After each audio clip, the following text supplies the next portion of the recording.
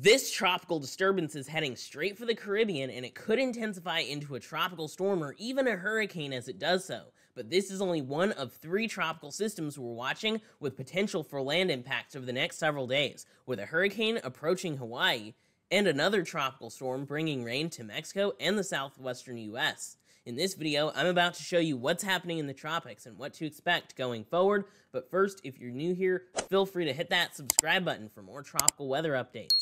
So right now, here's the latest tropical weather outlook for the NHC. Disturbance 1 that's recently been labeled Invest 91 has a 90% chance of tropical cyclone formation in the next seven days. A broad area of low pressure associated with a tropical wave is producing a concentrated but still disorganized area of showers and thunderstorms over the eastern tropical Atlantic.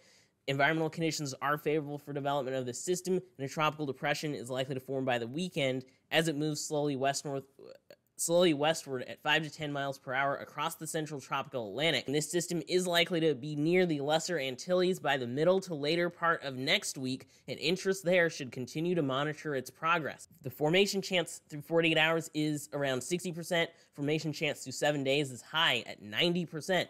And so this is very likely to become the next tropical de depression, tropical storm, and some models even showing significant intensification, bringing it up to a hurricane, potentially even a pretty strong hurricane. The Caribbean should definitely be watching this because before it looked like it was going to be a fish storm and it was just going to turn out into the open Atlantic.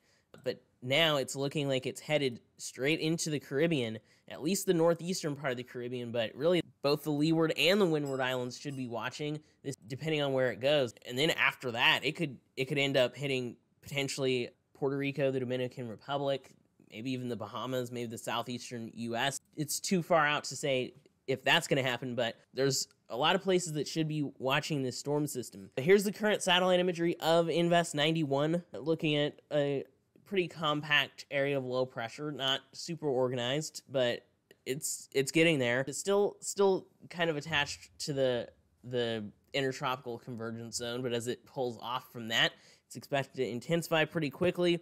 It's heading directly west. This is the, the, most recent intensity guidance as these hurricane models are starting to come in for this invest. We're looking at it hitting the eastern Caribbean potentially in the next five to seven days. So by the middle to later part of next week, we could be looking at that.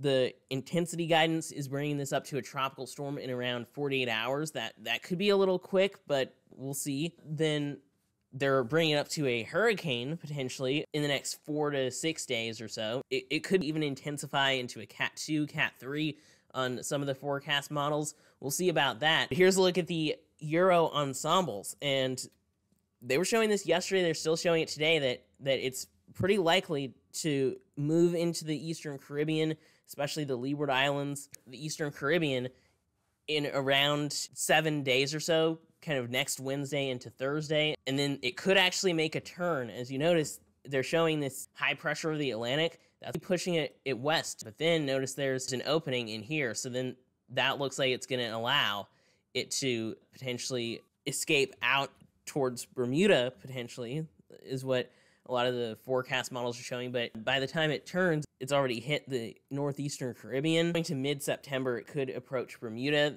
That's what the forecast models are showing now, but there's a, a lot of uncertainty on where this is going to go past really past this point of around five to seven days or so. Here's the GEFS ensembles. They're showing a much weaker storm system, really a weak tropical storm moving into the Caribbean around the same time frame. But then after that, we'll have to we'll have to see where it goes after that. Some of the ensembles showing some more intensification and it turns and kind of follows a track similar to Hurricane Erin. So yeah, we'll we'll have to see what happens there. And then some of the ensembles are showing some other development after this storm. And yeah, if this tropical storm gets a name, the next name on the list is going to be Gabrielle. So expect to see tropical storm Gabrielle on the map within the next few days. Here's a look at the GFS model showing this tropical disturbance turning into a, a tropical depression this weekend, like the NHC was mentioning. And then the GFS model intensifies this into a pretty strong hurricane already by Tuesday, September 9th, we could be looking at a 977 millibar category 2 hurricane in the tropical Atlantic, and it's very far south at this point. Even if it starts moving to the west northwest direction or even northwest, it's still going to be hitting the Caribbean at this point. And so, also, you could see that there's a lot of moisture for this storm system and not too much dry air really interfering with the hurricane. You do have this very powerful high pressure system that's not going to cause a problem for tropical storm and potentially Hurricane Gabrielle. It's actually pushing it further west where it's going to end up causing impacts. And then it's already down to 9 to 69 millibars when it when it actually hits the Caribbean. And then it could make a direct impact on Puerto Rico and the Virgin Islands according to the GFS model around Friday, September 12th going to Saturday, September 13th, looking at 967 millibar hurricane hitting the northeastern Caribbean. That's what the GFS is showing. They're also showing another tropical system behind Gabrielle. The name after Gabrielle is hum- Humberto. And there is a, a, strong tropical wave over Western Africa, so they're really showing a, a significant intensification with that one too. But then the GFS model brings Hurricane Gabrielle all the way down to a 949 millibar major hurricane by Tuesday, September 16th. And then you notice there's this big front that keeps this hurricane from going further west and impacting the east coast. So then it's going to make a big turn pretty sharply to the to the north and the northeast and it could end up hitting Bermuda at this point then moves off towards Atlantic Canada. But then notice what happens with this hurricane behind Gabrielle. It it kind of goes north into the Atlantic, but then as you see all these storm systems kind of messing with the the steering patterns, then this hurricane goes west and even starts moving south. That's going to be interesting. If that were to happen, which is pretty unlikely at this point, if that were to happen, that would be something pretty interesting to watch and and could be a problem for the northeastern Caribbean if if there's two hurricanes uh, back to back coming from two different directions. Here's a look at the Euro model, not really showing a ton of intensification with with Invest 91L or future Gabrielle showing a, a tropical storm, but there's a lot more dry air. As you notice, there's a lot more dry air and even wind shear interfering with this storm system, but it still hits the Caribbean. That's the thing. It still hits the eastern Caribbean as a weak tropical depression uh, and then moves through the Caribbean as just some disorganized moisture going into mid September. Then some potential weak activity behind that kind of headed in the same general direction. But the Euro model sometimes underestimates the intensity of these storms, so that's another thing to keep in mind. But there, there could be some wind shear that might cause a problem for Gabrielle and any other tropical activity. We do have this kind of upper level trough over the central Atlantic producing wind shear, but the wind shear is to the north of where our disturbance is. So if if Gabrielle is able to stay to the south of all the wind shear, it's it's going to have a good opportunity to intensify, especially if the winds to the north of the storm are providing more of an outflow instead of destructive wind shear. And it looks like that's what pretty much happens, even going into late next week, going to next weekend, as this is a very powerful hurricane in the Caribbean. We have more of an outflow pattern, so the upper level trough out ahead of of future Hurricane Gabrielle is producing more of an outflow. So this is actually helping, not interfering with the hurricane. And then once it gets out here, becomes pulled into a frontal system and more of an extratropical storm once it goes up towards Atlantic Canada. Still a, a pretty powerful hurricane for a while out in the Atlantic, and then we have that storm behind it. We'll have to see what happens with that one. But some quick intensification with this invest is possible. As it goes west, it's going to be going over some very warm sea surface temperatures in the mid 80s, especially the further west it goes, the more favorable things get.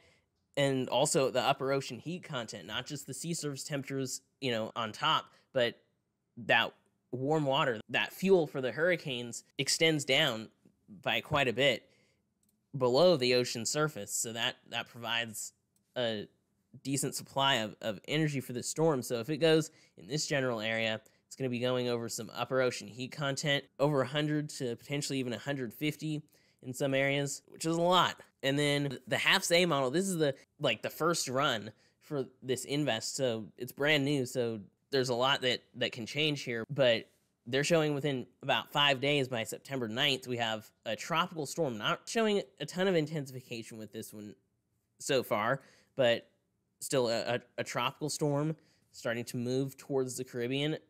At this rate, it looks like it probably would head more towards the northeastern Caribbean, not affecting some of the islands down further, but that's what the HAFS A model is showing. We saw the ensembles and some of the different models. They're showing there's significant variability in, in how strong this is going to get and also where exactly it's going to go. People in the Caribbean should be watching this, even along the southeastern US, Florida, all those areas should be watching this storm system because it, it does have the potential to become something pretty significant over the next week or two. But yeah, that's what we have right now on on this tropical disturbance. Definitely something to watch going forward.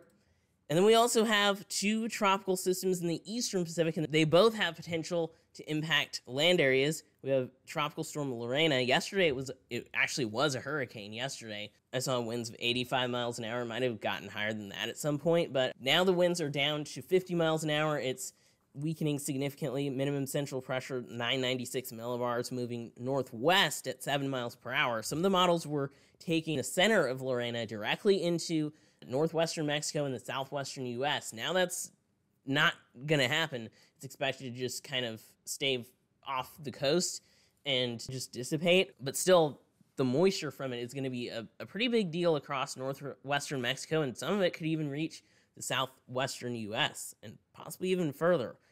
Then we have Hurricane Kiko, a very powerful major hurricane, winds of 130 miles an hour, category 4. Minimum central pressure 951 millibars, moving west at 9 miles per hour. Here's the satellite imagery of Hurricane Kiko, just a very powerful hurricane. It's pretty compact, like an annular type hurricane to some extent. And the NHC has key messages for Hurricane Kiko. It's expected to ap- approach the Hawaiian Islands during the early to middle portion of next week. And there is an increasing risk of direct impacts from wind and rain, but it's too soon to to tell exactly what's going to happen. So just something to, to watch if you're in Hawaii. And here's the cone showing by around 8 a.m. Tuesday is when you could see potentially a tropical storm, Kiko, approaching Hawaii. So it will weaken down. It's not going to hit as a Cat 4 or anything like that, but potentially some impacts from a tropical storm there. Here's a look at the GFS model for Hurricane Kiko. You can see that, yeah, it's very compact, pretty powerful but small hurricane, and it pretty much follows what the NHC has on the cone. Then you see it does start weakening down, and then the GFS model carries it just a little bit north, and a lot of the rain seems to miss Hawaii to the north, so it, it, it might not make a direct hit, but the chance that it does it has gone up, of course, and pretty much all the ensembles bring it very close to the the Hawaiian Islands so it's definitely something to watch. At least there's going to be rain, potentially some gusty winds are looking pretty likely on Tuesday, September 9th, going to Wednesday, September 10th.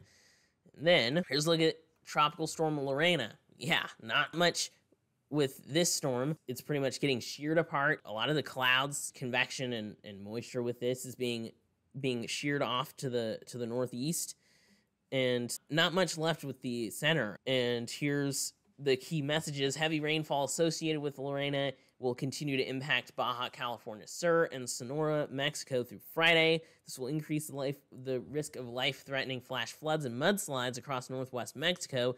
And then moisture from Lorena will contribute to heavy rain concerns across Arizona and New Mexico through Saturday. Isolated to scattered instances of flash flooding are possible across Arizona into Saturday. And then also, life threatening surf and rip current conditions will affect portions of the southwestern western coast of Baja California Sur during the next couple days. And even today, there's a high risk of rip currents along part of the coast of Southern California. So that just goes to show that it doesn't take like a big hurricane to cause rip currents. Even just a tropical storm with 50 mile an hour winds, you know, can cause some significant impacts. And yeah, here's the forecast cone. Really keeps it at a tropical storm through tonight, and then by tomorrow weakening down to a tropical depression, and it doesn't go northeast as was previously forecasted. It actually kind of goes off to the west. I think, you know, before there there were ensembles showing two different things.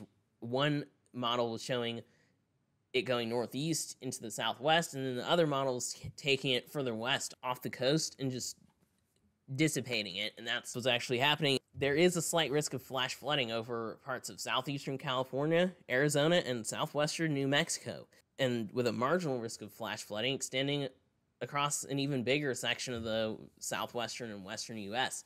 And then day one through Friday morning, so this is like tonight, showing mostly over Arizona. Then day two through Saturday morning shifts over to southeastern Arizona and southwestern New Mexico. And then day three, still a marginal risk for the Four Corners region and even western Texas through Sunday morning. So the, the potential there for flash flooding. There are a lot of flood watches, even some flood advisories and flood warnings in place across parts of Arizona right now. But the flood watch continues over a big section of Arizona with with showers and thunderstorms moving in. You can see that on the forecast model we have going into tonight some showers, showers and thunderstorms across across southern Arizona, going to New Mexico, and all that moisture really getting carried off to the northeast, away from Lorena, and then you can see a lot of heavy rain and intense thunderstorms over north parts of northwestern Mexico, and then all that rain keeps